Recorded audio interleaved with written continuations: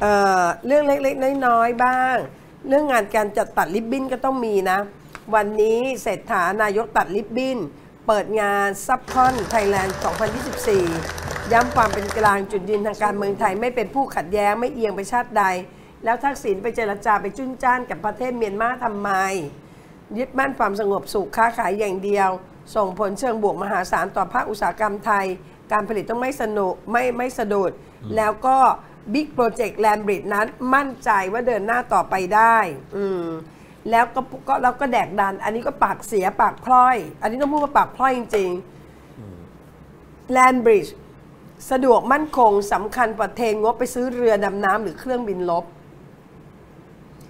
คนที่อยากตัวสั่นจะไปเป็นกลาโหมเนี่ยนะเออเออเออแล้วสุทินเนี่ย ถูกคำสั่งให้ยังอยู่กระทรวงกลาโหมเนี่ยนะ ตอนพูดเนี่ยได้มองหน้าทักษิณบ้างหรือเปล่าเออคุณเศรษฐาอยู่พักเพื่อไทยป่ะครับขอโทษทีเออเออพักเพื่อไทยก็สนับสนุนให้ซื้อไม่ใช่เหรอใช่ ใช่ไหมอืมก็ยังเจรจากันการซื้อเรือดำน้ำอะไรทั้งหลายยังอยู่ไม่ใช่เหรอใช่ตกลงเราอยู่รัฐบาลเดียวกันป่ะเนี่ย ใช่ใช่แลนด์บริดจ์เขาบอกว่า ถ้ามีใครทะเลาะกับใครก็มั่นใจว่าประเทศนี้จะให้ความยุติธรรม คุณเศรษฐาคุณไปไหว้คนที่เขาไปจุ้นจ้านกับเมียนมากับมาเลเซียนะ ในการขนไทยขนสินค้าไปทั่วโลกการลงทุนครั้งนี้แลนด์บริดจ์เป็นเรื่องเป็นประโยชน์ไม่ใช่การค้าอย่างเดียว แต่เป็นเครื่องมือทำให้ไทยแข็งแกร่ง มีความเป็นสวิตเซอร์แลนด์เราเป็นกลางเป็นสวิตเซอร์แลนด์แห่งเอเชีย ถ้าเกิดใครมาทะเลาะกับใครเราไม่สนใจเราค้าขายอย่างเดียว เราอยากให้ประเทศไทยมีความมั่นคงตรงนี้ เราอยากให้นักธุรกิจนักอุตสาหกรรม ลงทุนและสบายใจ ใครจะทะเลาะกับใครก็ตามทีแต่ประเทศไทยไม่เข้าข้างใคร เรายึดมั่นในความสงบสุข เราค้าขายอย่างเดียว เราจะทำให้เรื่องของกระบวนการผลิตไม่ถูกสะดุด เรายืนยันว่าแลนบริดจ์จะเป็นโครงการสำคัญมากสำคัญมากกว่าซื้อเรือดำน้ำหรือเครื่องบินรบ อืม คืออะไรถ้าไม่รู้อะอย่าพูด เป็นนายกเนี่ยพูดได้แต่พล่อยไม่ได้ คุณรู้ไหมว่าเรือดำน้ำเนี่ยนะทุกชาติเขามีหมดแล้ว รักษาทรัพยากรใต้น้ำตัวเอง ขาดแต่เราซึ่งไม่มี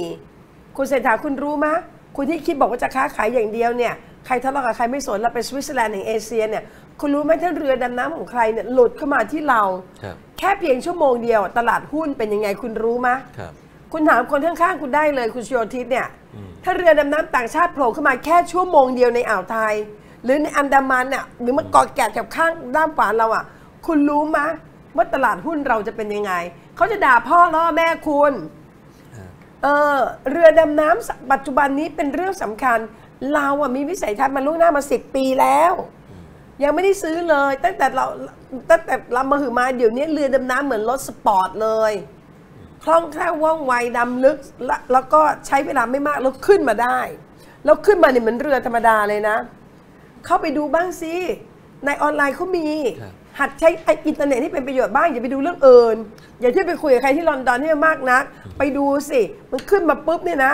วิ่งไปเนี่ยเหมือนเรือเลยทำไมต้องเทียบอะระหว่างแลนด์บริดจ์กับเรือดำน้ำเออนะเขาบอกว่ามันใช่ไหมคนละเขาบอกว่าเรื่องนะแอปก็คุณต้องเทียบแอปเปิลกับแอปเปิลใช่ไหมไม่ใช่เอาแอปเปิลไปเทียบกับส้มถูกป่ะเออทำไมจะต้องมาเทียบแลนด์บริดจ์กับเรือดำน้ำก็ไม่เข้าใจ ดีกว่าซื้อเรือดำน้ทั้งทั้งทางที่เป็นนโยบายของของรัฐบาลเองำอย่าเที่ยวไปพูดกับภาคเอกชน ว่าการมีแลนด์บริดจ์สำคัญกว่าการซื้อเรือดำน้ำและเครื่องบินรบ คุณต้องเอาประโยคนี้เนี่ยไปพูดเวลาที่คุณพูดกับกลาโหมอืมกับกองทัพเรือครับผบ.ทร. แลนด์บริดจ์สำคัญกว่าเรือดำน้ำและเครื่องบินรบนะ ผบ.ทร. และทบ.แล้วคุณจะได้เห็น reaction ของทหารเขาอืมว่าเขาจะตอบกลับคุณว่าอย่างไรครับคุณเห็นเมียนมาไหมล่ะ คุณเห็นชายสามจังหวัดชายแดนภาคใต้ไหมล่ะ คุณเห็นแต่คุณรู้จักไหมอะ นี่เรามีนายกที่โง่งั่งเง่ามากเลยนะ ที่พูดอะไรแบบนี้ได้เนี่ยตายแล้วทีหลังเธอตัดริบบิ้นอย่างเดียวเธอห้ามพูดเลยนะ ต้องเอาไมโครโฟนออกจากปากเศรษฐาเลยนะฮะ